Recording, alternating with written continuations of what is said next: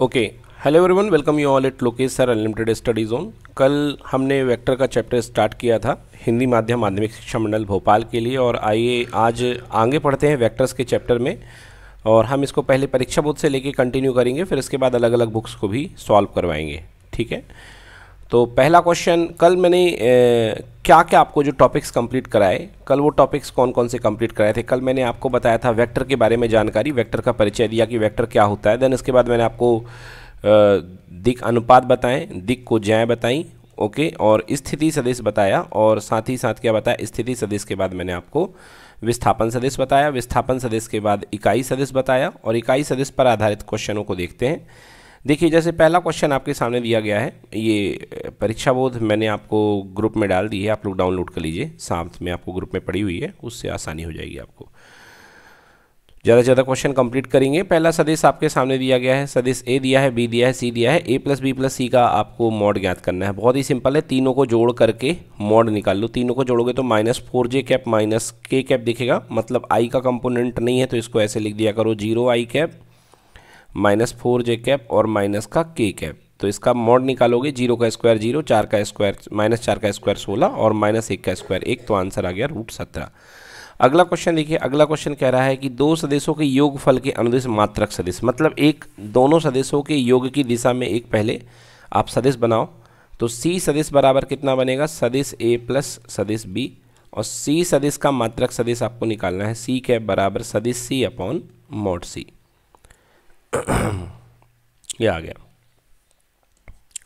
Then इसके बाद कह रहा है कि सदिश ए के अंदिश एक सदिश ज्ञात करो, जिसका परिमाण सात इकाई है। मतलब इसके अंदिश एक ऐसा सदिश निकालना है, जिसका परिमाण सात इकाई। तो क्या करोगे? पहले आप ए कैप निकालोगे, क्योंकि वो उसके अंदिश इकाई सदिश होगा और उसका सात से गुणा कर दो तो सात कदम का सदिश निकल आएगा। सो सिंपल देन इसके बाद है अपने पास में, ये देखिए निकाल लिया। अब इसके बाद कह रहा है कि सिद्ध करो कि ये दोनों संरेखीय हैं। तो कल मैंने बताया था कि दो वेक्टर अगर एक ही रेखा में होंगे तो वो यकीनन पैरेलल होंगे और जो पैरेलल का गुणधर्म हुआ करता है पैरेलल का दो वेक्टर अगर ए और बी आपस में पैरेलल हैं तो नोट कर लीजिए, अगर दो सदिश ए और बी आपस में पैरेलल हैं, जिसमें पहला सदिश है आपके पास में वेक्टर ए सदिश ए बराबर A one I cap plus B one J cap plus C one K cap और दूसरा सदेश बी आपके पास में है। A two I cap plus B two J cap plus C two K cap अगर ये दोनों सदेश आपस में पैरेलल हैं तो पैरेलल की कंडीशन हुआ करती है। ए समानांतर अगर बी सदेश के होगा तो कंडीशन बनेगी इनके अनुपात, समान अनुपात में होंगे। तो A one upon A two equals to B one upon B two equals to C one upon C two ये कंडीशन बनेगी आपकी। पैरेलल यानी समांतर होने की, ठीक है?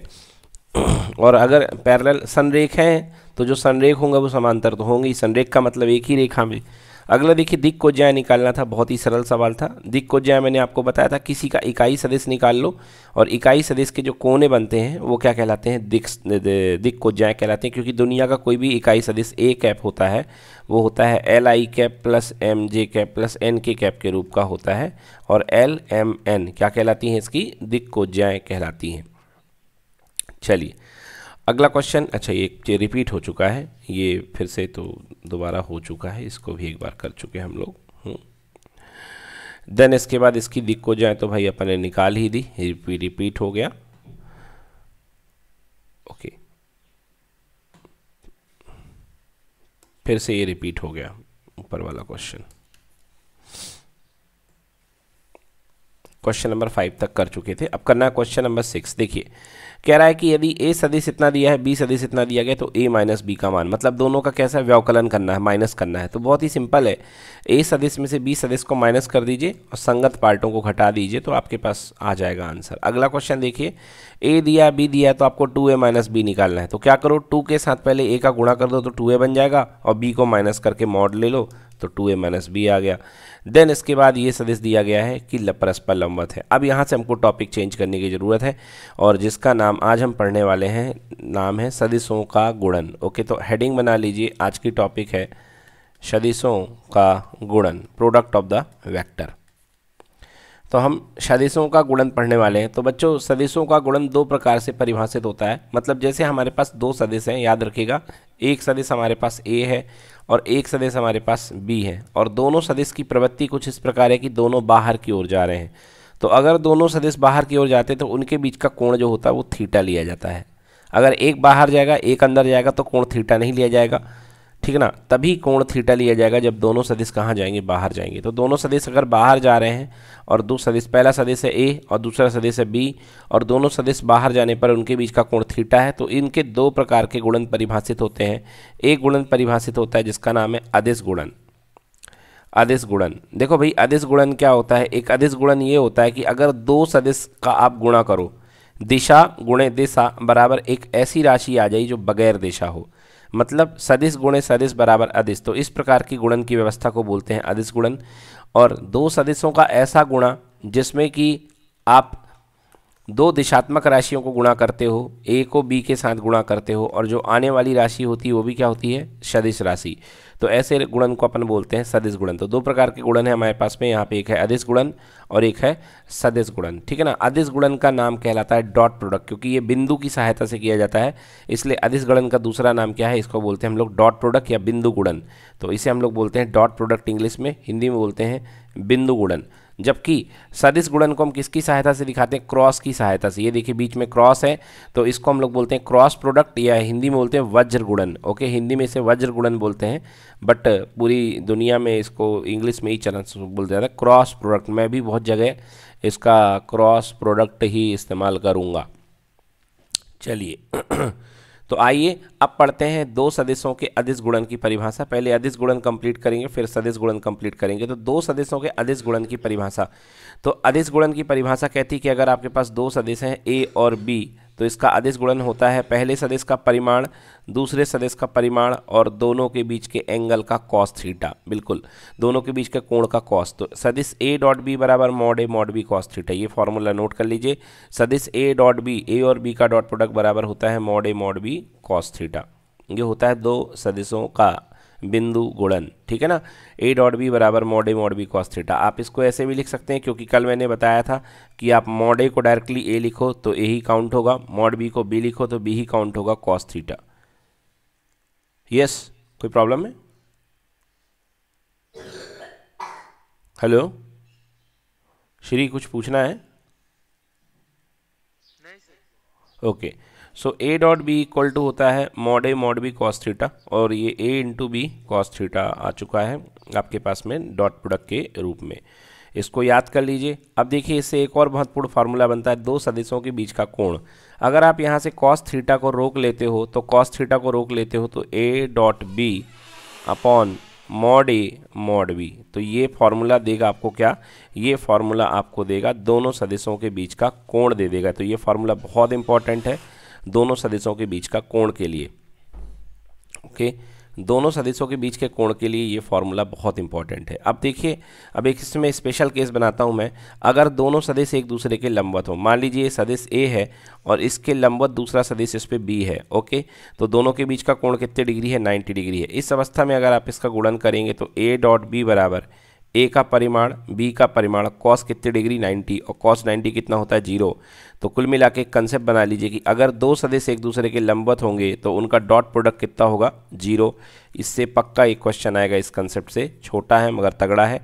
Okay A dot B is equals to zero. अगर दो वेक्टर एक दूसरे के परपेंडिकुलर हैं तो A dot B equal to कितना आएगा? ज़ीरो आएगा। तो डॉट प्रोडक्ट ज़ीरो हो जाएगा, अगर दो सदिश एक दूसरे के परपेंडिकुलर हैं तो। तो डायरेक्टली आपसे पूछ लिया जाएगा। दो चीज़ें बनती यहाँ पे कि अगर दोनों परपेंडिकुलर है तो डॉट प्रोडक्ट क्या होगा? तो पहली चीज़ अगर थीटा 90 डिग्री दिया हुआ है तो ए डॉट बी कितना होगा?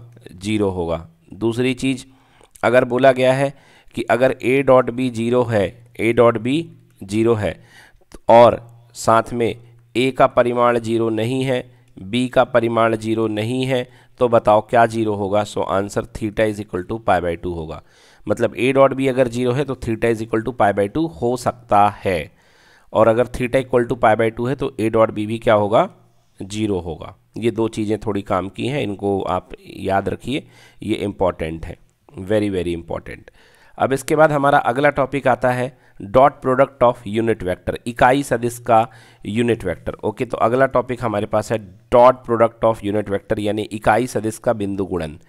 इकाई सदिशों का बिंदु गुणन।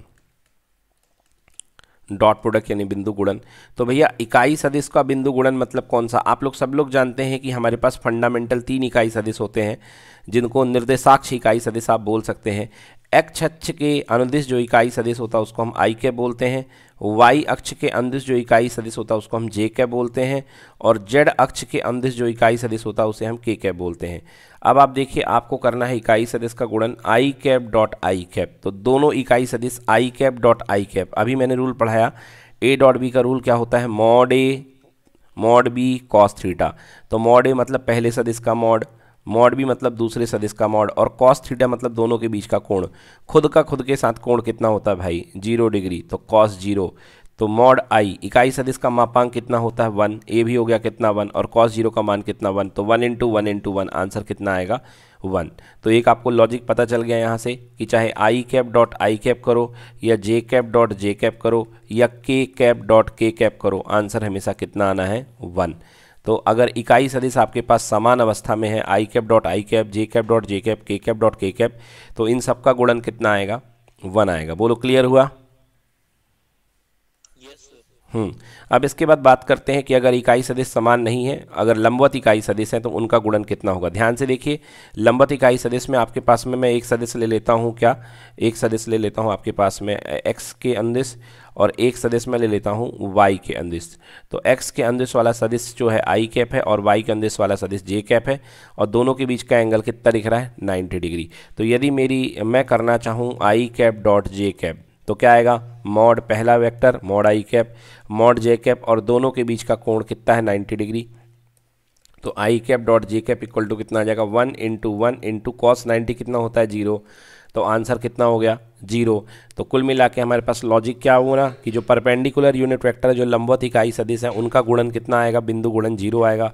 तो आई डॉट जे करो या जे डॉट आई करो या के डॉट जे करो या जे डॉट के करो, या आई डॉट के करो, या के डॉट आई करो इक्वल टू कितना आएगा? ज़ीरो मतलब अगर दो सदिश सेम सेम होंगे तो उनका बिंदु गुणन कितना आएगा? वे एक आएगा, दो इकाई सदिश। और अगर अलग अलग लंबवत होंगे तो उनका बिंदु गुणन कितना होगा? ज़ीरो होगा ओके तो एक कॉमन कंसेप्ट बना करके लिख लीजिए कि I dot I cap J dot J cap या के डॉट के कैप सबकी वैल्यू कितनी होगी? वन और अगर आप आई डॉट जे कैप करोगे या जे डॉट के कैप करोगे या के डॉट आई कैप करोगे, सबकी वैल्यू कितनी होगी? ज़ीरो और एक बात मैं आपको यहाँ पर और बताना चाहता हूँ बच्चों कि जो बिंदु गुणन होता है, वो क्रम विनिमय नियम को फॉलो करता है। क्रम विनिमय नियम मतलब उल्टा पुल्टा एक समान। यानी कि ए डॉट बी कर दो या बी डॉट ए कर दो, इसमें कोई फ़र्क पड़ने वाला नहीं है। क्यों नहीं फ़र्क पड़ने वाला है? क्योंकि आपका उत्तर एक कांस्टेंट वैल्यू अचर आता है और अचर से कोई फ़र्क नहीं पड़ता है, ठीक है ना? तो A dot B equal to B dot A मतलब कि सदिश का जो गुणन होता है, कौन सा गुणन? डॉट प्रोडक्ट यानी बिंदु गुणन। ये क्वेश्चन एग्ज़ाम में पूछा भी जा चुका है कि सदिश का बिंदु गुणन क्रम विनिमय नियम को पालन करता है, सत्य या असत्य? तो बिल्कुल सत्य है कि जो सदिश का गुणन होता है, बिंदु गुणन, वो क्रम विनिमय नियम को पालन करता है। A dot B equal to B dot A तो ये था आपका बिंदु गुणन के बारे में पूरी चीज़ें हो चुकी हैं। अब हम दो सदिशों का बिंदु गुणन देखेंगे। कैसे सदिश? अभी आपने इकाई सदिश का बिंदु गुणन देखा है। अब आप दो सदिशों का बिंदु गुणन, नॉर्मल सदिशों का आप बिंदु गुणन देखेंगे। तत्काल आप तब तक इसको आप अच्छे से नोट करिए। आपके सामने स्क्रीन है, इसको जूम करके अच्छे से ये पूरा का पूरा पार्ट नोट करिए। दो मिनट आपके पास है। चलिए, देखिए अगला क्वेश्चन है। अगर A equal to two I K plus J के प्लस के पैक और बी इक्वल टू अब देखिए, यहाँ पे पहले तो इस क्वेश्चन को डिस्कस करने के लिए मुझे पहले ये बताना पड़ेगा कि दो सदिशों का बिंदु गुणन किसके रूप में? कंपोनेंट के रूप में। तो कंपोनेंट के रूप में आपको गुणन पढ़ाना है मुझे। तो कैसे करेंगे देखिए? तो अगर आपके पास पहला सदिश है ए सदिश इक्वल टू अब इसको देख लो। ए सदिश कैसे होगा? जैसे अभी मैंने बताया था कि दुनिया में कोई भी सदिश होता है, उसके तीन घटक होते हैं एक्स वाई जेड तो ए सदिश के तीन घटक हैं A X I cap A Y J cap और ए जेड के कैप कल बात हुई थी A X A Y A Z को क्या बोलते हैं? अपन लोग दिक अनुपात बोला करते हैं ना? ये हो गया A X A Y A Z पहला सदिश। और दूसरा सदिश आपके पास जो बी है that is equal to B X I cap plus B Y J cap plus B Z K cap.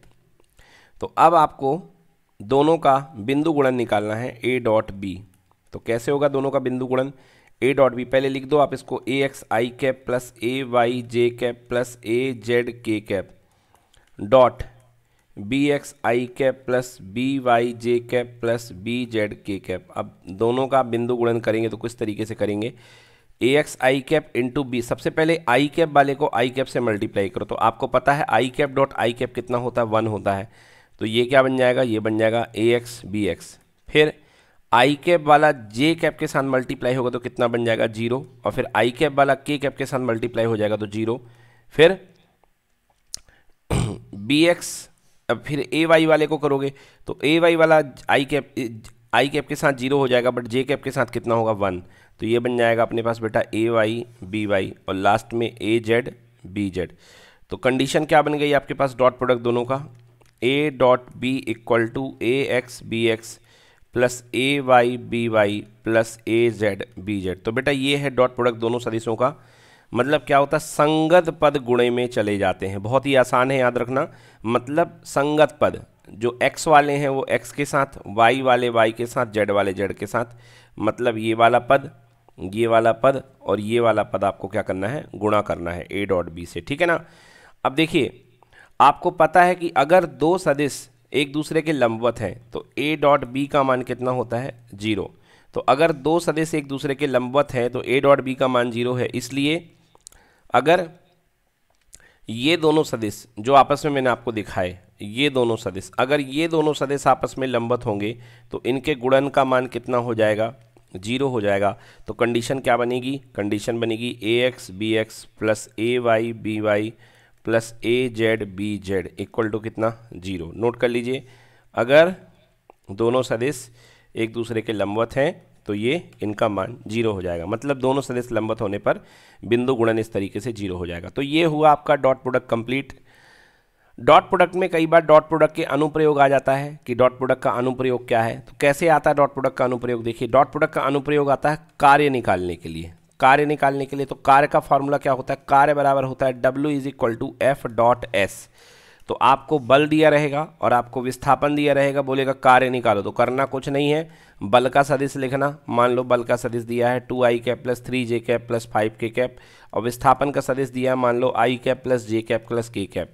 तो दोनों का क्या कर देना? आपको बिंदु गुणन कर देना। कैसे करोगे? अभी बताया, टू का आई के टू टू बन जा टू, थ्री बन जा थ्री, और फाइव बन जा फाइव। आंसर पाँच, तीन, आठ और दो, दस जूल। तो ये आ गया कार्य। तो कई बार कार्य निकालने को आ जाता है तो कार्य का फॉर्मूला होता है W equal to F dot S एक और हालाँकि वो आएगा नहीं अगर फिजिक्स में है पावर इज़ इक्वल टू होता है बच्चों एफ़ डॉट वी मतलब बल गुणे वेग का बिंदु गुणन जो होता है वो होता है पावर पावर यानी शक्ति. हालाँकि इतना डिफ़िकल्ट डीप में नहीं जाएगा. अब आ जाइए क्वेश्चंस करते हैं. बोलो इतना क्लियर हो गया? सबको समझ में आ गया इतना? Yes, चलिए नेक्स्ट कंसेप्ट देखते हैं. श्री, तुम्हारी आवाज़ नहीं आ रही, समझ में नहीं आया क्या? कोई दिक्कत है? ओके, चलिए अगला कॉन्सेप्ट देखते हैं। अगला कंसेप्ट कह रहा है कि अगर दो सदस्य एक दूसरे के लंबत हो, अभी अभी मैंने बताया था, अगर दो सदस्य एक दूसरे के लंबत होते हैं तो दोनों का डॉट प्रोडक्ट कितना होता है? ज़ीरो होता है। तो ये सदस्य पहला, ये सदस्य दूसरा, दोनों का dot product A dot B बराबर ज़ीरो कर दो। A one A two B one B two C one C two बराबर ज़ीरो कर दो। लेमडा का मान उगल देगा क्वेश्चन लेमडा का मान निकाल लेंगे, क्योंकि ज़ीरो से तुलना करोगे लेमडा आ जाएगा। अगला क्वेश्चन है, सिद्ध करो कि परस्पर लंबत है। परस्पर लंबत है तो डॉट प्रोडक्ट किसके इक्वल होना चाहिए? ज़ीरो के इक्वल ये देखो, बिंदु गुणन किसके इक्वल हो गया? ज़ीरो के टाइम पास क्वेश्चन अगला, फिर से कह रहा कि सिद्ध करो लंबत है। अगला कह रहा है सिद्ध करो लंबत है तो पी का मान लेमडा का मान के का मान, नाम बदल बदल कर मान ज्ञात करवाएँगे, ज्ञात कर लो। लो भाई साहब, कह रहा, सदिशों के बीच का कोण ज्ञात करो। अभी अभी मैंने आपको कोण का फॉर्मूला पढ़ाया है। कोण का फॉर्मूला ए डॉट बी बराबर मॉड ए और मॉड बी तो ए डॉट बी पहले ऊपर डॉट प्रोडक्ट कर देना। और नीचे मॉड ए सिखा रखा, मॉड बी सिखा रखा है। इसको सॉल्व कर लीजिए, आंसर आ जाएगा। अगला, दो सदस्यों के बीच के कोण की कोज्या ज्ञात करो। भाई, कोज्या का मतलब हिंदी में कोज्या यानी कॉस होता है। मतलब इसमें कुल मिला के आपको कॉस थीटा ज्ञात करना है। पिछले वाले में तो कॉस थीटा ज़ीरो आ गया था तो theta equal to ninety degree ज्ञात करना पड़ा। बट इसमें आपको सीधे सीधे कॉस थीटा निकालना है, थीटा भी नहीं निकालना है। अगला क्वेश्चन है, बिन इन सदिश इतने इतने का अधिस गुणनफल तथा उनके बीच का कोण ज्ञात करो। तो पहले अधिस गुणनफल ज्ञात करना है। तो अधिस गुणनफल A one A two B one B two C one C two करके सिक्स आ गया और इसके बीच का कोण कॉस थीटा बराबर six upon under root six upon forty one तो कॉस थीटा बराबर cos inverse under root six upon forty one हो गया। बोलो डन कन, बन जाएगा ना? चलिए, अब एक कंसेप्ट आपको नया पढ़ाते हैं, जिसका नाम है दो समान सदिशों के बीच का गुणन। बिंदु गुणन। आपके पास दो समान सदिश हैं, मगर वो इकाई सदिश नहीं है। कोई भी दो समान सदिश हैं, ये सदिश ए है और इसका सदिश ए का ए के साथ बिंदु गुणन करते हैं। मतलब मैं ए डॉट ए निकालने जा रहा हूँ। बच्चों ए डॉट ए को वेक्टर की भाषा में ए स्क्वायर भी बोला जाता है। ओके? तो आपको कभी ए स्क्वायर आ जाए तो क्या होगा ए स्क्वायर का मतलब होगा ए डॉट ए ए स्क्वायर का मतलब होता है ए डॉट ए आइए इसको खोलते हैं तो कि भाई ए डॉट ए या ए का स्क्वायर क्या होगा? तो अभी मैंने पढ़ाया था कि सदिश गुणे सदिश ए डॉट बी बराबर mod A mod B cos theta तो भाई यहाँ पर मॉड ए पहला मॉड बी की जगह भी मॉड ए ही खेल रहा है और कॉस थीटा खुद का खुद के साथ कोण कितना होता है? ज़ीरो। तो ये कितना हो गया? मॉड ए का स्क्वायर तो चमत्कारिक बात है दोस्तों कि ए का स्क्वायर कह लो या ए डॉट ए कह लो। दो सदिशों का समान सदिशों का गुणनफल उसके मापांक के स्क्वायर के बराबर होता है। मतलब एक बहुत अच्छी प्रमेय कि सदिश का वर्ग बराबर सदिश के परिमाण का वर्ग। नोट कर लो, जितना भी अगर आपके एग्ज़ाम में डिफ़िकल्ट क्वेश्चन आया, समझ लो, यही आपकी मदद करेगा। क्या? लिख लो, सदिश का वर्ग बराबर सदिश के परिमाण का वर्ग। सदिश का वर्ग बराबर सदिश के परिमाण का वर्ग।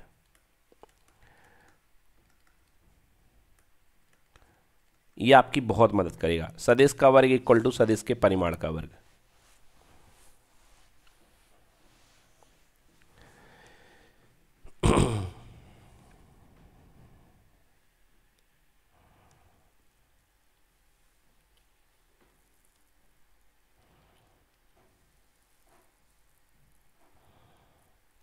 डन चलिए। तो ये बहुत इंपॉर्टेंट है। अब आइए चलते हैं अगला क्वेश्चन अगले क्वेश्चन में देखिए क्रॉस प्रोडक्ट आ चुका है तो मुझे आपको इसको समझाने के लिए क्रॉस प्रोडक्ट पढ़ाना पड़ेगा। ठीक है ना? क्रॉस प्रोडक्ट पढ़ाना पड़ेगा। तो क्रॉस प्रोडक्ट अपन शुरू करते हैं। अगला प्रोडक्ट हमारा हुआ करता है क्रॉस प्रोडक्ट तो हमारे पास बिंदु गुणन हो चुका है। अब इसके बाद हम आते हैं दूसरे प्रकार के गुणन पे, जिसका नाम होता है क्रॉस प्रोडक्ट जिसे हम वज्र गुणन भी बोलते हैं। ओके? तो अगर ए क्रॉस बी हमें करना है तो सदिशों का कुछ ऐसा गुणन कि सदिश गुणे सदिश पिछले बार देखा था, सदिश राशि गुणे सदिश राशि इक्वल टू अधिस राशि, परंतु इस बार सदिश गुणे सदिश इक्वल टू सदिश। तो दो सदिशों का कुछ इस प्रकार गुणन किया जाए कि बनने वाला गुणन भी सदिश राशि हो, ऐसे गुणन को हम बोलते हैं क्रॉस प्रोडक्ट या वज्र गुणन। अब ए क्रॉस बी का मतलब समझो। ए क्रॉस बी का मतलब फिजिक्स से निकलता है और ए क्रॉस बी का सिंपल मतलब है कि सदिश ए को सदिश बी की तरफ़ घुमाओ। मान लो, ये आपके पास में सदिश ए है और ये सदिश बी है और इसके बीच का एंगल थीटा है। तो आप अपनी मोबाइल स्क्रीन की तरफ़, नीचे की तरफ़ ए की तरफ़ उंगलियाँ रखिए। अपने दाएँ हाथ की उंगलियों को, चारों उंगलियों को ए की तरफ़ जमाइए स्क्रीन में जैसे मोबाइल है, और फिर उसको बी की तरफ़ घुमाइए रोटेट करिए। तो देखिए, आपका अंगूठा एक दिशा में जा रहा होगा ओके तो जनरली लोगों का अंगूठा बाहर की तरफ़ जा रहा होगा, बाहर की तरफ़। जा रहा है कि नहीं जा रहा है? आप ए को बी की तरफ़ घुमा रहे हैं तो आपका अंगूठा बाहर की तरफ़ निकल रहा है कि नहीं निकल रहा? यस सर हाँ। अगर आपका मोबाइल सामने रखा हुआ है है ना? किसी दीवार वगैरह में टिका हुआ है तो आपका अंगूठा बाहर की तरफ़ आएगा और यदि लेटा हुआ आपका मोबाइल रखा हुआ है ज़मीन पे तो ऊपर जा रहा होगा। अगर आप झुक के पढ़ रहे हैं और मोबाइल फ्लैट रखा हुआ है कहीं पर तो आपका अंगूठा ऊपर जा रहा हो। कुल मिलाकर के ये है कि ए क्रॉस बी ये जो, ये ए को बी की तरफ़ घुमाने पर जो सदिश आपको प्राप्त होता है बेटा, उसे बोलते हैं ए क्रॉस बी तो ए क्रॉस बी क्या है? ऐसा सदिश जो ए से बी की घूर्णन की दिशा में प्राप्त होता है। जो ए को बी की तरफ़ घुमाने पर प्राप्त होता है, उसको हम बोलते हैं ए क्रॉस बी यस तो ये हमेशा, ये देखो, ये किसके लंबत होता है? ये दोनों सदिश, ये ए और बी के तल के लंबत होता है। ये ए है और ये बी है और ये ए से बी से बनने वाला तल है और आप देखिए कि ये ए, बी से बनने वाले तल के लंबवत होगा। ए क्रॉस बी जो होता है, ये ए और बी से बनने वाले तल के लंबवत हुआ करता है। ठीक है?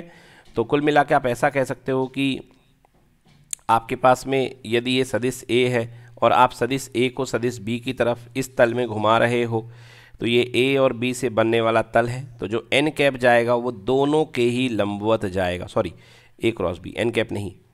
तो जो ए क्रॉस बी सदिश जाएगा, वो दोनों ही तल के, ये तल है, इस तल के लंबवत सदिश बनेगा ए क्रॉस बी जी हाँ। अब ए क्रॉस बी का मान कितना होता है बच्चों? ये ध्यान रखो। हाँ याद रखिएगा, यहाँ पर जो कोण है ए और बी के बीच का, वो कितना भाई साहब? ये कोण जो है ये कोण आपको लेना है थीटा, ये कोण आपको लेना है थीटा। अब हम पढ़ते हैं कि ए और बी के बीच का ए क्रॉस बी कितना हुआ करता है। तो ए क्रॉस बी का फॉर्मूला याद करें।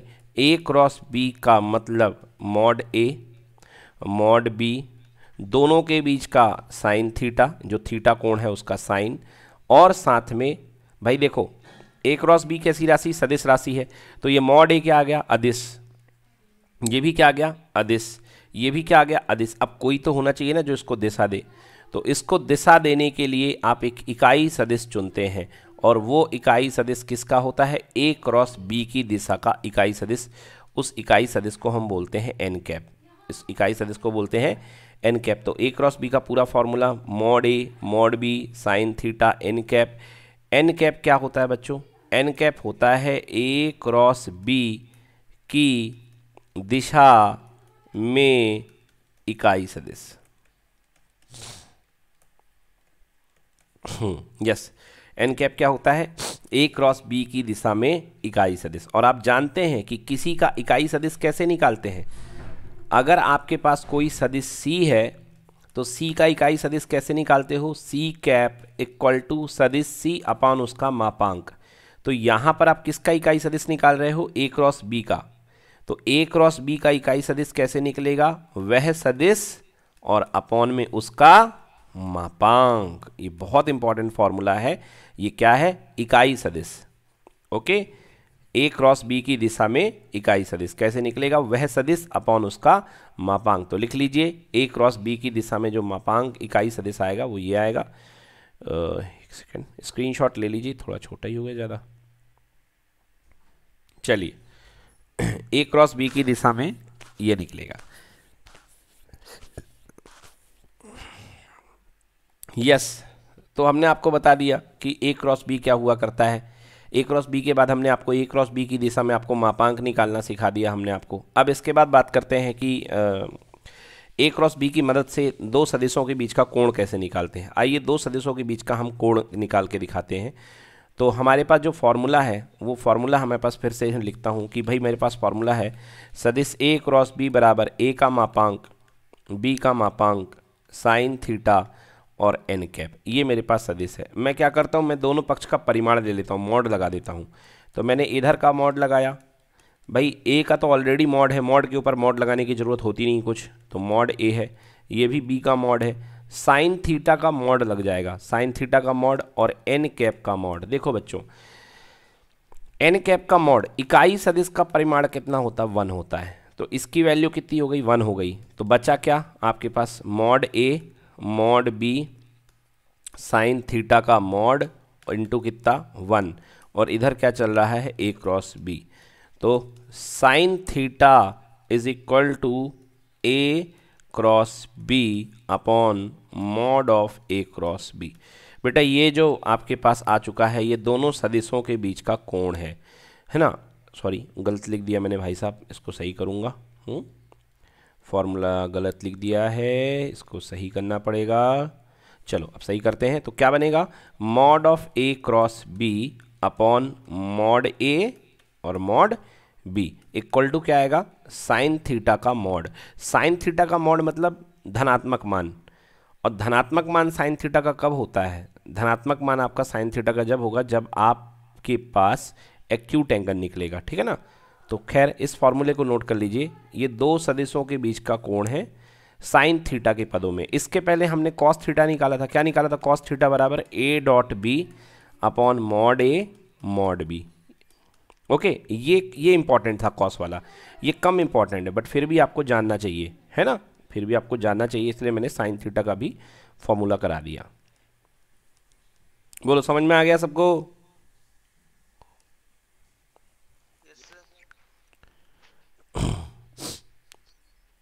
चलो छत्रपाल क्लियर है? यस सर हाँ तो ये साइन थीटा का मॉड हो चुका है। अब देखिए अगला टॉपिक है cross product of unit vector heading है। Cross product of unit vector मतलब कि इकाई सदिशों का वज्र गुणन। इकाई सदिशों का वज्र गुणन। इकाई सदिशों का वज्र गुणन। अभी आपने देखा था, इकाई सदिशों का आपने क्या देखा था? इकाई सदिशों का आपने देखा था डॉट प्रोडक्ट, यानी कि बिंदु गुणन। अब आप देख रहे हैं इकाई सदिशों का वज्र गुणन। तो चलिए, आपके पास एक ईसाई सदिश है, आई कैप और एक आपके पास जे कैप है तो आई कैप को जे कैप से क्रॉस करना मतलब आई कैप को जे कैप की तरफ़ घुमाना। अब लॉजिक समझो। बेटा एक्स अक्ष के अनुदिश इकाई सदिश क्या होता है? आई कैप और वाई अक्ष के अनुदिश इकाई सदिश क्या होता है? जे कैप अब आप एक काम करो, अपने दाहिने हाथ की उंगलियाँ निकालो और उंगलियों को पहले किस अक्ष की दिशा में रखो? चारों उंगलियों को एक्स अक्ष की दिशा में आई कैप की दिशा में रखो। और चारों उंगलियों को घुमाओ जे कैप की दिशा में मतलब ऊपर की तरफ़ रोटेट करो एक का एक रोटेट करो। पहले एक्स अक्ष की दिशा में रखो और फिर वाई अक्ष की दिशा में उंगलियों को घुमाओ। देखो, तुम्हारा अंगूठा बाहर आ रहा होगा। जी हाँ। मतलब दोनों के लंबवत जो सदिश, इकाई सदिश बनेगा, वो क्या बनेगा? के कैप मतलब यदि आप आई को जे की तरफ़ घुमाते हो तो आई क्रॉस जे के लिए जो एन कैप बनेगा, वो क्या बनेगा आपका? के कैप, लंबवत इकाई सदिश तो इस तरीके से ये, इसको यदि मैं ओपन करूँ, कौन सी परिभाषा से? ए क्रॉस बी बराबर ए का परिमाण बी का परिमाण साइन ऑफ़ थीटा और कितना? एन कैप यदि इस फॉर्मूले से ओपन करो तो mod I cap mod J cap sine कितने डिग्री दोनों के बीच का कोण 90 डिग्री और एन कैप मतलब दोनों के लंबवत इकाई सदिश कितना भाई साहब? के कैप तो आई कैप का मान वन वन साइन नाइन्टी भी वन और ये कितना हो गया? के कैप तो के कैप आंसर आ गया। I cap cross J cap equal to K cap मतलब अगर आप आई को जे की तरफ़ घुमाओगे तो क्या मिलेगा आपको? के मिलेगा। अब बच्चों इसकी उल्टी फीलिंग पकड़ो। अभी आपने आई को जे की तरफ़ घुमाया, अब आप जे को आई की तरफ़ घुमा बच्चों। तो चलो देखते हैं J cross J cap cross I cap क्या होगा। अगर आप जे को आई की तरफ़ घुमाओगे तो आप उंगलियों को उल्टे तरफ़ से मोड़ोगे तो देखो आपका अंगूठा पीछे जाएगा। मतलब अब आपका जो वेक्टर बनेगा वो पीछे की तरफ़ बनेगा। बाकी सब कुछ सेम रहेगा एन कैप की जगह कितना आ जाएगा? माइनस के कैप तो J cap cross I cap equal to कितना आएगा? Mod J cap mod I cap sine angle अभी भी 90 डिग्री है, और के कैप की जगह क्या यूज़ होगा? माइनस के कैप तो J cap cross I cap equal to कितना हो गया? सब कुछ वन हो गया, ये भी वन ये भी वन ये भी वन केवल क्या बचेगा? माइनस के कैप तो एक बेहतरीन लॉजिक हमारे सामने है कि सदिश जो होते हैं, वो गुणन में, वज्र गुणन में, क्रम विनिमय नियम का पालन नहीं करते हैं। मतलब ए क्रॉस बी जो होता है, वो बी क्रॉस ए के बराबर नहीं होता है। ओके? क्योंकि आपने देखा है कि, अभी आपने देखा कि I cap cross J cap कितना आया? प्लस के कैप और इसका उल्टा कर दिया आपने J cap cross I cap तो कितना आ गया? माइनस के कैप ठीक है ना? तो मतलब ये एक दूसरे के निगेटिव होते हैं। या आप ये कह सकते हो कि जो ए क्रॉस बी होगा वो बी क्रॉस ए का क्या होगा? ऋणात्मक होगा। ध्यान से देख लो, एक आ रहा है के कैप और एक आ रहा है माइनस के कैप तो ए क्रॉस बी की दिशा जो होती है, वो बी क्रॉस ए के उल्टे होती है। देखा भी आपने प्लस के कैप ऊपर जा रहा था और माइनस के कैप नीचे जा रहा था। तो ये कहलाता है वज्र गुणन अब आइए इसको सिस्टमेटिकली बना लेते हैं। तो आपने क्या देखा कि आई को जे की तरफ़ आपने रोटेट किया है। तो आपको क्या मिला है? के मिला है। तो इसके लिए एक शॉर्ट ट्रिक होती है। क्लॉकवाइज सर्कल बना लेते हैं। ये है आई कैप ये है जे कैप और ये है के कैप और रूल चलता है, अगर आई को जे से क्रॉस करोगे तो आपको के मिलेगा।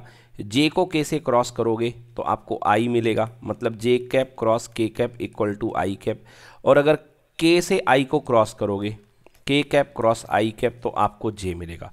बट यदि आप इस रूल के अगेंस्ट चलते हो, उल्टा चलते हो अभी ये क्लॉकवाइज है, अगर आप एंटी क्लॉकवाइज चलते हो, जैसे कि आपने कहा कि मैं जे से आई चलूँगा तो जे क्रॉस आई तो आपको क्या मिलेगा? माइनस के कैप तो सारे की सारी चीज़ें पलट जाएँगी। तो इस रूल का ध्यान रखिएगा। इस तरीके से आप क्रॉस प्रोडक्ट हैंडल कर सकते हो। तो यहाँ पर मैंने आपको क्रॉस प्रोडक्ट बता दिया।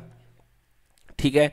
अब देखिए दो सेम वेक्टर आप, आपके पास में है। आ, मतलब अभी तक तो आपने कैसे लिए? अपने परपेंडिकुलर वेक्टर लिए थे आई कैप और जे कैप अब देखते हैं अगर दोनों समान वेक्टर हों यानी I cap cross I cap तो कितना होगा आंसर तो I cap cross I cap में कैसे लगेगा देखिए? Mod A mod B sine theta खुद का खुद के साथ एंगल कितना होता है? ज़ीरो डिग्री और साइन ज़ीरो की वैल्यू ज़ीरो होती है तो आगे कुछ करने की ज़रूरत ही नहीं है। एन कैप एन कैप गोली मारो। सीधे कितना हो गया? I cap cross I cap equal to कितना हो गया? Zero vector. मतलब समान सदिशों का बिंदु गुणन कितना होगा? ज़ीरो होगा। लिख लीजिए कॉपी में कि कोई भी समान सदिश, इकाई सदिश कुछ भी होंगे, उनका बिंदु गुणन कितना होगा? ज़ीरो। क्योंकि साइन थीटा पे डिपेंड करता है और साइन ज़ीरो की वैल्यू कितनी होती है? ज़ीरो होती है। तो साइन ज़ीरो की वैल्यू ज़ीरो होने के कारण दो सदिश खुद के साथ ज़ीरो कोण बनाएँगे। है ना? इसलिए उनका बिंदु, इनका जो सॉरी बिंदु गुणन बोल गया क्या मैं? क्रॉस गुणन। बिंदु नहीं, क्रॉस गुणन। बिंदु गुणन तो आप देख चुके हैं ना? I cap dot I cap कितना होता था? वन होता था। मैं क्रॉस गुणन की, वज्र गुणन की बातें कर रहा हूँ तो वज्र गुणन में I cap cross I cap equal to कितना? ज़ीरो। इसी तरीके से J cap cross J cap equal to zero. K cap cross K cap equal to zero. तो देख लिया आपने बना लेते हैं अपन एक बार, है ना? क्या क्या पढ़ लिया अपन ने? देखिए देखिए I cap cross I cap equal to zero तो जो जो पढ़ लिया मैंने I cap cross I cap करो J cap cross J cap करो, या K cap cross K cap करो इक्वल टू कितना हो जाएगा? ज़ीरो चलिए। तो ये देख लिया आपने, ये हो गया हमारा क्रॉस प्रोडक्ट यहाँ पे क्रॉस प्रोडक्ट हमारा फिनिश हो जाता है। अब इसके बाद एक एक चीज़ और बच जाती है कि अगर आपके पास दो सदिश दिए गए हैं बड़े सदिश कंपोनेंट की फॉर्म में आपको पता है सदिश होते हैं। क्या होते हैं? ए एक्स आई कैप फिर ए का वाई घटक जे कैप और ए का जेड घटक के कैप क्या बोलते हैं इन घटकों को? दिक अनुपात बोलते हैं। कल पढ़ाया था मैंने, ये घटक कहलाते हैं दिक अनुपात। दूसरा सदिश B equal to B X I cap plus B Y J cap plus B Z K cap और आप दोनों को आपको क्रॉस प्रोडक्ट करना है ए क्रॉस बी करना है। कैसे निकालोगे? देखो यहाँ पर आई कैप यहाँ पर जे कैप यहाँ पर के कैप और यहाँ पर A A X A Y A Z और बी एक्स और बी वाई और बी जेड और आपको सारणिक तो ओपन करते बनती है तो सारणिक का मान ओपन कर दीजिए। I cap J cap K cap A X A Y A Z और B X B Y B Z करके आप ए क्रॉस बी निकाल सकते हैं। तो यहाँ पे क्रॉस प्रोडक्ट जितना हमारे सिलेबस में है, उतना अपन को काम चल जाएगा। चलिए, अगला देखिए क्वेश्चन क्या कह रहा है। हाँ। अगले क्वेश्चन के लिए मुझे पहले जैसे ये जो क्वेश्चन दिया गया है, इसके लिए मेरे को आपको एक थ्योरम पढ़ानी पड़ेगी। देखिए mod of A cross B आपसे पूछा गया है। यहाँ पे mod of A cross B पूछा गया है। बहुत ही प्यारा क्वेश्चन है। Mod of A cross B अपन कैसे करेंगे? देखो, मैं आपको बता देता हूँ mod of A cross B कैसे करते हैं। Mod of A cross B का हमको मॉड निकालने को बोला गया ठीक है ना? चलिए। कह रहा है ए का मॉड ए टेन है बी का मॉड टू है ए डॉट बी का मॉड ट्वेल्व है तो ए क्रॉस बी का मॉड कितना होगा? बहुत ही अच्छा क्वेश्चन है, चलो करके मैं आपको दिखाता हूँ। इसको थोड़ा सा वक्त देना पड़ेगा आपको करने के लिए। देखिए, हमसे इन लोगों ने पूछा क्या है? हमसे इन लोगों ने पूछा है mod of A cross B का मान पूछा है। तो हम जानते हैं कि भाई A cross B equal to होता है mod A mod B sine theta और एन कैप, ये हुआ करता है। तो एक काम करो, लगे हाथों मॉड ले लो। तो mod of A cross B equal to A का मॉड तो ए का मॉड ही होगा। बी का मॉड, बी का मॉड होगा। एन कैप इकाई सदिश है, सबको पता है, और इकाई सदिश का मापांक कितना होता वन हो गया। तो केवल क्या बच गया आपके पास? साइन थीटा का मॉड बच गया। ये लो भाई। अब मेरी बात मानो, क्या कर दो? दोनों तरफ़ स्क्वायर कर दो। दोनों तरफ़ क्या कर दो? स्क्वायर कर दो। तो ए क्रॉस बी का स्क्वायर इक्वल टू, ये हो गया ए का स्क्वायर। बी का स्क्वायर और मॉड साइन थीटा का स्क्वायर अब भाई मॉड लगाओ और स्क्वायर करो तो कोई मतलब होने वाला नहीं है क्योंकि मॉड भी पॉजिटिव करता है और स्क्वायर भी पॉजिटिव करता है। तो मतलब स्क्वायर के ऊपर मॉड का असर नहीं होता कुल मिला के। तो साइन स्क्वायर थीटा अरे, जो खुद में पॉजिटिव है, उसको मॉड का क्या असर होगा? है ना? तो साइन स्क्वायर थीटा के ऊपर मॉड लगाने का कोई मतलब ही नहीं है। तो तो आपने क्या किया?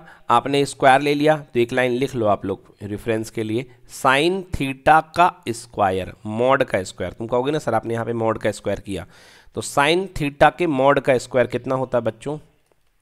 साइन स्क्वायर थीटा अब देखो ए क्रॉस बी का square equal to A square का मॉड बी स्क्वायर का mod mod A square mod B square बच्चों sine square theta equal to होता है one minus cos square theta. तो एक नया फॉर्मूला बनने वाला है, ज़बरदस्त भाई साहब, ये हो गया कितना? Mod A square, mod B square, minus, इसका गुणा करोगे तो कितना आ जाएगा? देखो, ये आएगा mod A square, mod B square, cos square theta. तो ये मैं क्या लिख सकता हूँ? ये लिख सकता हूँ मॉड ए क्रॉस बी का स्क्वायर, ये हो गया A square B square, A का मॉड, बी का मॉड, इसका स्क्वायर माइनस। ध्यान से देखो ये क्या है। ये है ए डॉट बी का स्क्वायर क्यों? क्योंकि ए डॉट बी कितना होता है? Mod A mod B cos theta का स्क्वायर ठीक है? तो अब आपको क्या चाहिए था? आपको चाहिए था मॉड ए क्रॉस बी और आपको ए डॉट बी गिवन था। बस तो आंसर आपका आने वाला है इस क्वेश्चन में। तो सबसे पहले ये एक ज़बरदस्त फॉर्मूला है, ये चीज़। मतलब मॉड ए क्रॉस बी का square equal to A mod A square mod B square minus mod A dot B square मैं इसको कैसे याद करके बैठता हूँ? ऐसे डायरेक्टली याद कर पाना थोड़ा मुश्किल है तो मैं इसको इस तरीके से याद करके बैठता हूँ कि देखिए, मैं इसको इस तरीके से याद करके बैठता हूँ कि ए क्रॉस बी का स्क्वायर इधर से ये माइनस प्लस में आ जाएगा तो ए डॉट बी का square equal to mod A square mod B square okay A cross B का square plus A dot B का square equal to mod A square mod B square तो अब अपना क्वेश्चन करते हैं जो अपन को क्वेश्चन दिया गया है, उसका देखिए क्या है। क्वेश्चन में कह रहा mod of A cross B की आपको वैल्यू बतानी है। तो मतलब आपको mod of A cross B की वैल्यू बतानी है और ए दिया है दस बी दिया है दो। चलो सॉल्व करते हैं, ओके?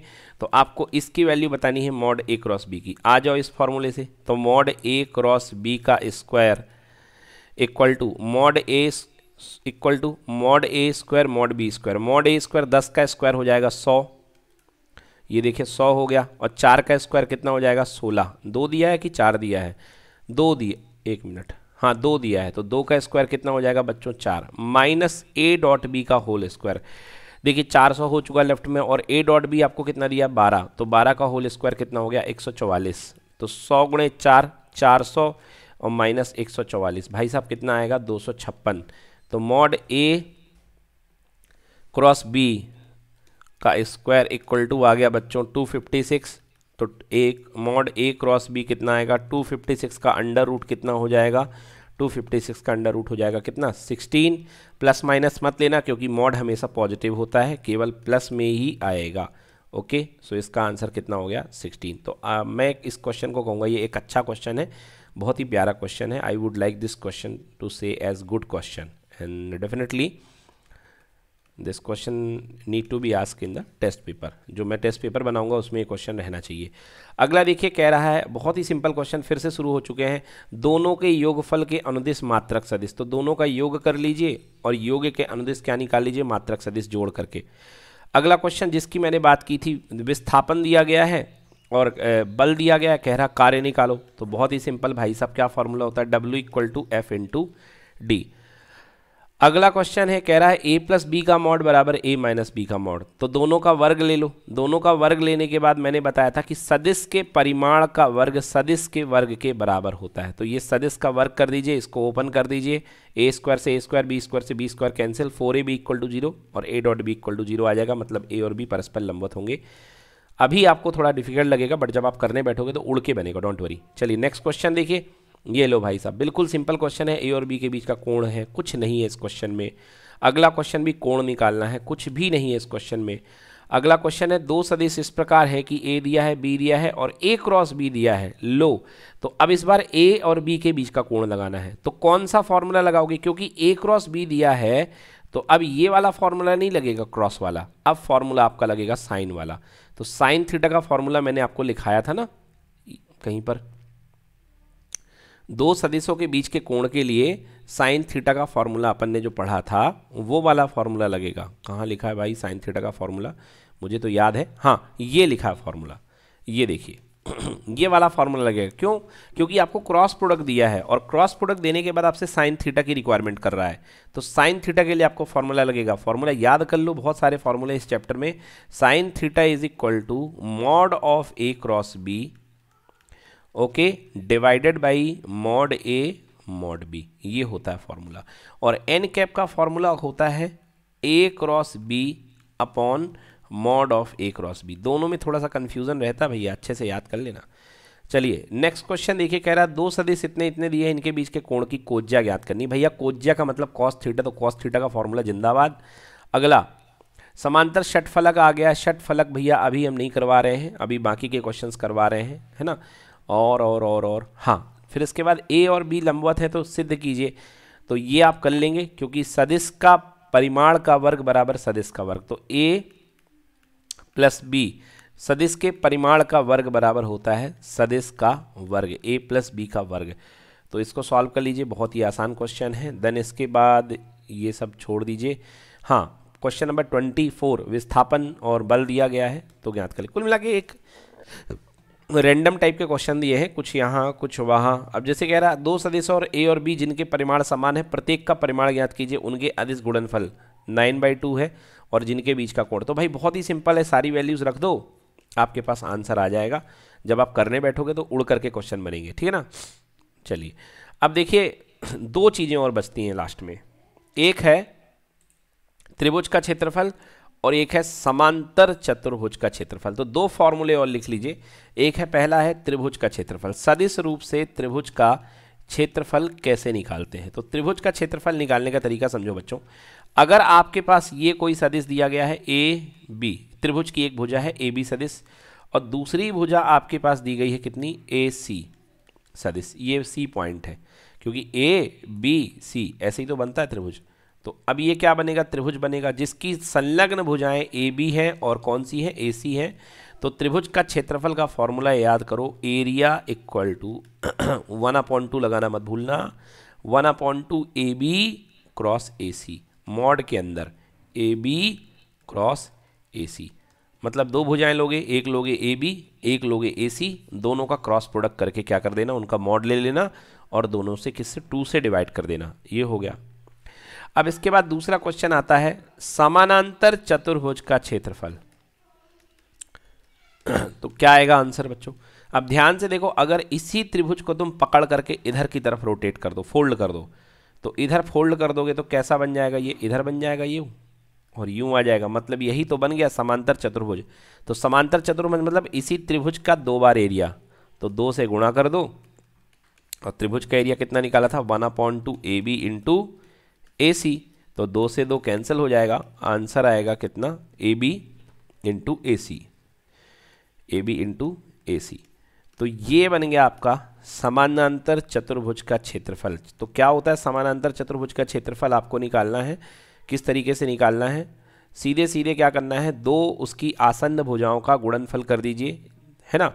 और अगर आपको त्रिभुज का क्षेत्रफल निकालना है तो आप क्या करेंगे? एक बटे दो और उसकी दो भुजाएँ। चलो देखो, ये क्वेश्चन है। समांतर चतुर्भुज का क्षेत्रफल ज्ञात कीजिए, जिसकी दो आसन्न भुजाएँ सदिश इतने और इतने को निरूपित करती हैं भाई साहब। तो समांतर चतुर्भुज का क्षेत्रफल एक भुजा ए है, एक भुजा बी है। तो बहुत ही सिंपल कंसेप्ट है। क्या होता है? फॉर्मूला अरे एक बटे दो मत लिखो भाई, ये समांतर चतुर्भुज है। सीधे क्या होगा? ए क्रॉस बी का मॉड तो ए क्रॉस बी निकाला और मॉड ले लिया। एक बटे दो की ज़रूरत नहीं है बच्चों। ये त्रिभुज का एरिया निकाल दिया, गलती से उसने। ए यहाँ पे वन अपॉइंट टू नहीं आएगा। हूँ मिसप्रिंट हो गई थी, उसने लिख दिया इस तरीके से। तो अब आपको करने क्या है? अब आपको करने हैं ये सारे के सारे क्वेश्चन जैसे ये देखिए क्या है? ए है बी दिया है two A cross two B cross A निकालना है। तो दो का मल्टीप्लाई करके दोनों सदिश जनरेट कर लीजिए, फिर इसके बाद गुणा कर दीजिए। इसी तरीके से बी क्रॉस टू ए है, ये भी आपको बड़े आसान से बन जाएगा। मतलब प्रैक्टिस आपको देनी है बच्चों। क्वेश्चन बहुत सारे हैं बट आपको प्रैक्टिस देनी है है ना? जैसे ये देखो, ये ए दिया है, ये बी दिया है, कह रहा है ए क्रॉस बी का मॉड निकालो। तो पहले क्या करोगे? ए क्रॉस बी निकालोगे, उसके बाद इसका क्या निकाल लोगे? मॉड यानी कि इसका मापांक निकाल लोगे। ये देखो, इसके सदिश मात्रक सदिश तो कोई यूनिट वेक्टर निकालना है, कोई बड़ी बात नहीं है तो सब आपसे अब बन ही जाएगा। ओके, अब लास्ट चीज़ जो कहलाती है, जिसका नाम है प्रक्षेप। तो फॉर्मूला याद कर लो। देखो, प्रक्षेप क्या होता है? प्रक्षेप का मतलब होता है जैसे आप किसी के ऊपर कोई छाया पड़ती है। तो यदि ये सदिश ए है और ये सदिश बी है तो इस सदिश की, पहले सदिश ए की बी के ऊपर कितनी छाया पड़ेगी? भाई, ये वाला हिस्सा तो इसके ऊपर ही है। ये वाला हिस्सा इसके ऊपर आएगा। अगर ऊपर से टॉर्च मारोगे तो इतनी पड़ेगी इसकी छाया। ये कहलाता है प्रक्षेप कुछ नाम दे दो इसका। इसका नाम दे दो एम और इसका नाम दे दो एन तो ये पड़ती है छाया। तो याद रखो फॉर्मूला बता रहा हूँ, सीधे फॉर्मूले से याद करो। ए का सदिश बी पर प्रक्षेप एक का सदिश बी पर प्रक्षेप इक्वल टू सदिश ए गुणे सदिश B dot product upon mod of B जिस पर प्रक्षेप पड़ेगा, वो नीचे रहेगा। और ऊपर क्या रहेगा? दोनों का बिंदु गुणन। A dot B upon mod B दूसरा देखो बी का ए पर प्रक्षेप बी का ए पर प्रक्षेप इक्वल टू क्या हो जाएगा? ए डॉट बी अपॉन नीचे क्या आएगा? मॉड ऑफ़ ए बस दो फॉर्मूला कर लीजिए, इसके बाहर प्रक्षेप का प्रश्न नहीं आएगा। जो प्रक्षेप का प्रश्न आएगा, वो इसी फॉर्मूले से आएगा। चलिए तो यहाँ पर वेक्टर एक बाहरी तौर से, एक मोटे तौर पे सारा का सारा अपन ने कंप्लीट कर दिया है। और इसके बाद भी अगर आपको कोई क्वेश्चंस आते हैं कोई डाउट आते हैं तो आप ज़रूर डाउट में हमसे पूछिएगा। डाउट तो चलते ही रहेंगे। तो श्री आपको क्या करना है? ये जितनी आपको मैंने शीट दी है अभी शीट पहुँच गई आपके पास ना? यस सर हम्म ये पूरी की पूरी शीट आज आपको बैठ करके पूरे फुल कॉन्फिडेंस में फुल मोटिवेशन के साथ आपको ये शीट लगानी है। और ज़्यादा से ज़्यादा क्वेश्चन करने हैं। जो क्वेश्चन आपको नहीं बनेंगे उनमें गोला लगाइए। उनको अपन बाद में सॉल्व करेंगे, ठीक है? और इसमें काफ़ी सारे क्वेश्चंस हैं, इनको आप पूरे तरीके से हल कीजिए। डन आपका वेक्टर ऑलमोस्ट लगभग लगभग खत्म हो गया है, और कुछ जो क्वेश्चन बचे हैं, उनको मैं अलग से करवाऊँगा। चलिए, धन्यवाद। तो आज के लिए इतना ही मित्रों क्लास को ऑफ़ करते हैं। जय हिंद, जय भारत।